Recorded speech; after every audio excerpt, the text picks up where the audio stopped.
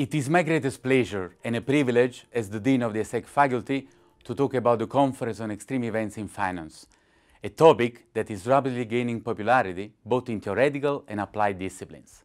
Besides my institutional role, I'm a professor of statistics and data analysis. As such, I witnessed how, for several decades, academic research is very often considered, and I dare to say wrongly, extreme events simply as outliers or anomalous observations. The related data were then removed from the empirical analysis, sometimes explained by means of extra statistical considerations, but very rarely modeled. Nowadays, crashes, crises, and extreme conditions happen more regularly, and sometimes even simultaneously in different domains and in different parts of the world, with a potentially high impact on the daily life of both individuals and the society as a whole. In this new framework, the classical assumptions such as normality, linearity, and stationarity, just to mention a few, are routinely violated, and the complete distributions of events are less and less available. Moreover, we are more and more frequently led to work on spikes and heavy tails. As a consequence, the extreme value theory and analysis cannot be ignored any longer by all sorts of companies, banks, regulators, and more generally, private organizations and even public bodies. Indeed, the academic research in this area needs to be multidisciplinary, as it is characterized by several advanced technicalities for the theoretical, conceptual, and methodological developments, but also by significant application relevance.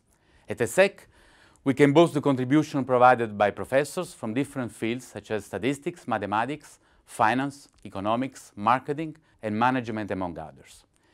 This is definitely an asset for us, as we can propose a comprehensive approach to risk analysis and management.